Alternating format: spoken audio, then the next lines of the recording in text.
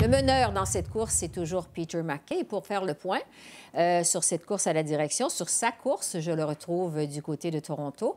Bonsoir, M. McKay.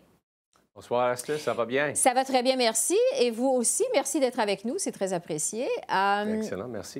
Puisque c'est la première fois qu'on vous reçoit en entrevue, euh, je me demandais, d'abord et avant tout, bon, vous avez œuvré en politique fédérale avec les conservateurs pendant 18 ans avant de quitter la politique en 2015. Euh, vous avez décidé de revenir en politique presque cinq ans plus tard. Euh, vous êtes maintenant père de trois enfants. Je me demandais jusqu'à quel point ça a été une grosse décision pour vous que d'effectuer ce retour en politique. Vous avez raison. C'est une, grande décision, une grosse décision, comme vous dire.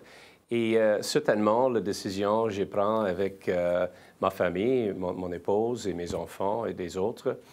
Et après, euh, depuis 10, 4, 8, 4 années dans le, secteur privé, euh, je suis un avocat, mm-hmm. j'ai pris la décision de revenir aux politiques euh, parce que je suis pas contente avec la direction de notre pays et je prends, j'offre une vision différente. Et aussi, je comprends bien, après 18 ans dans la vie politique, la politique, c'est une, une, véhicule pour changement positif. Si, euh, si vous travaillez fort, euh, si vous avez une bonne équipe, euh, si vous présentez une vision pour le pays claire, je pense que c'est une meilleure façon, une meilleure mm-hmm. direction nécessaire pour notre pays. Et j'offre ça avec cette course de leadership et j'espère pour la prochaine élection générale.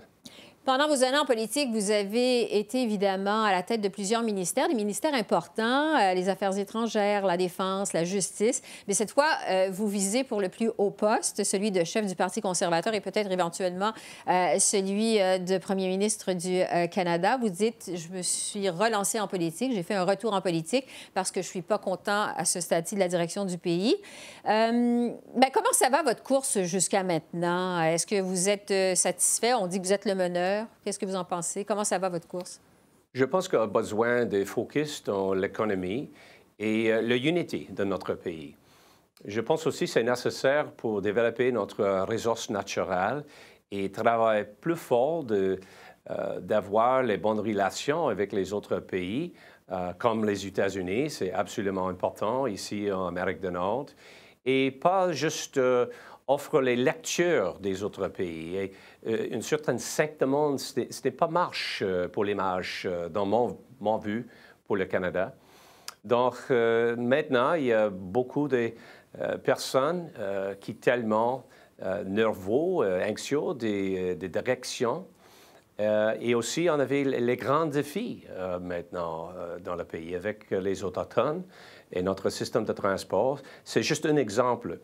Je ne suis pas contente avec euh, la direction M. Trudeau et le gouvernement libéral a fait dans la dernière quatre. Oui. Parlant à des gros défis, celui justement du dossier des Autochtones, c'est le dossier de l'heure évidemment au pays. J'aimerais vous entendre sur ce blocus euh, des lignes euh, ferroviaires pour protester contre ce projet de gazoduc en Colombie-Britannique. On est maintenant donc au jour 14 de cette crise au pays. Vous avez dit euh, souhaiter une intervention policière pour lever les blocus. Pourquoi une intervention policière? Parce que personne n'est au-dessous de la loi au mhm. Canada. On avait un droit pour tout le monde. Donc, euh, c'est clair qu'il y a un groupe, une, petite groupe, euh, et pas, pas, tout le monde est, autochtone dans cette, euh, cette groupe des, manifestants. et on a besoin maintenant d'action. et c'est clair, c'est la responsabilité de notre police de faire l'action pour avoir un système de transport un système qui transporte les, marchandises essentielles pour notre pays. Et c'est clair aussi, c'est un grand impact euh, dans les jobs euh, des personnes qui travaillent pour Via Rail ou euh, les personnes qui travaillent dans les certains autres secteurs de notre, notre économie. Donc, ça fait deux semaines mm-hmm. et le Premier ministre, maintenant, continuait juste de parler, il parle, il parle, il n'y a pas d'action. Donc, c'est nécessaire maintenant pour une intervention forte. Donc, il faut passer à l'action, il faut arrêter de parler, selon ce que vous nous dites. Vous ne craignez pas qu'une intervention policière, parce qu'on le sait, euh, c'est un dossier qui est très chaud, euh, pourrait, euh, au contraire, faire dégénérer cette crise, empirer la crise actuelle? Ce, n'est pas nécessaire de finir des discussions et des dialogues ou des efforts de réconciliation, mais maintenant, c'est un effort de d'ouvrir notre, notre système d'échange, notre, notre système de transport. C'est essentiel pour notre économie, notre pays, pour, pour tout le monde. Et je dis encore, il y a un droit, un droit pour tout le monde. Ce n'est pas euh, possible d'avoir un, autre système de justice. Si cet euh, effort, euh, c'est dans un, un aéroport ou dans les, Trans-Canada, euh, ça ne marche pas. Mhm. Dans une chemin, c'est absolument nécessaire pour personne d'avoir liberté pour les transportations. En terminant, euh, Monsieur Mackey, on fait cette euh, entrevue en français, ce qu'on apprécie énormément. Je ne peux pas euh, vous laisser partir sans vous parler de la qualité de votre français. On sait qu'au moment d'annoncer votre candidature au leadership du Parti conservateur à la fin du mois de janvier, vous avez fait l'objet de, de vives critiques sur la qualité de votre français, notamment de la part de médias du Québec. Est-ce que vous avez été surpris par ces critiques? Qu'est-ce que vous en avez pensé? Premièrement, je, comprends bien, c'est absolument nécessaire d'avoir une politicienne fédérale, une première ministre qui avait la capacité de parler deux langues officielles. J'acceptais ça. Donc, euh, dans les dernières euh, quatre ans, j'étais ici à Toronto. Malheureusement, il n'y a pas de, beaucoup d'occasions d'utiliser mon français. Donc, mm-hmm. je suis un peu roué peut-être. Et euh, je suis un anglophone. Je, n'ai pas l'accent comme euh, un vrai francophone au Québec, un Québécois. Mais j'étudiais français à Chicoutimi. Peut-être euh, j'ai un petit accent euh, blué, comme un blué. Du lac Saint-Jean? Je, suis un blué euh, à Nouvelle-Écosse. Mais le même temps, je pense que je démontre la, capacité de parler aux beaucoup de sujets et présenter mes idées, mes politiques. Et, et j'ai continué, Esther. J'ai continué d'améliorer mon français. J'ai pratiqué. J'ai un professeur de langue. J'ai parlé avec mon épouse. Elle, parle bien français. Et elle corrigez-moi euh, tout, le, tout le temps.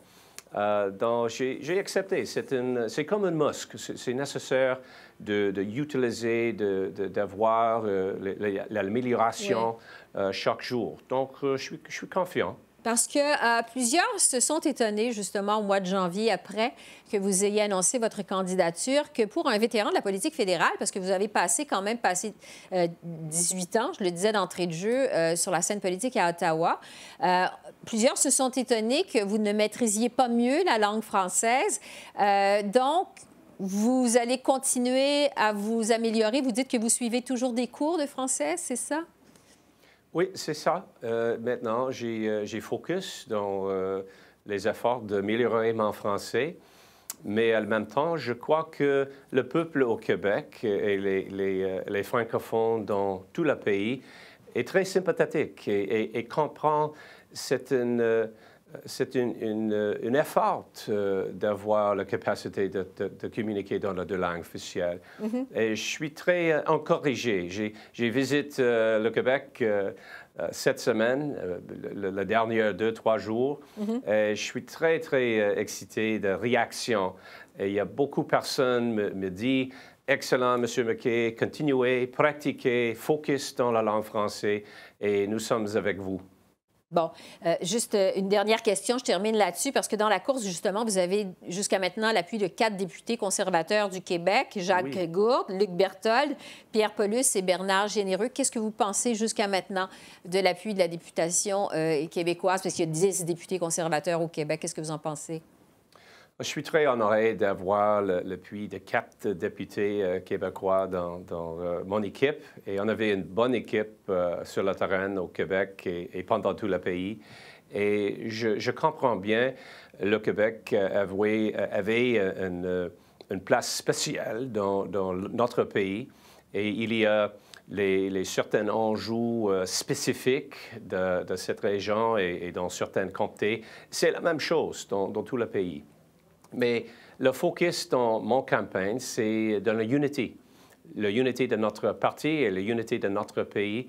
et chercher pour une façon pour démontrer les intérêts nationaux. Et euh, absolument, le Québec avait une, place euh, importante dans un gouvernement à l'avenir que je suis euh, peut-être honoré d'offrir le leadership. Peter McKay, merci beaucoup de nous avoir accordé cette entrevue. C'est très apprécié. Merci, Esther. À la prochaine. Merci, au revoir. À la prochaine.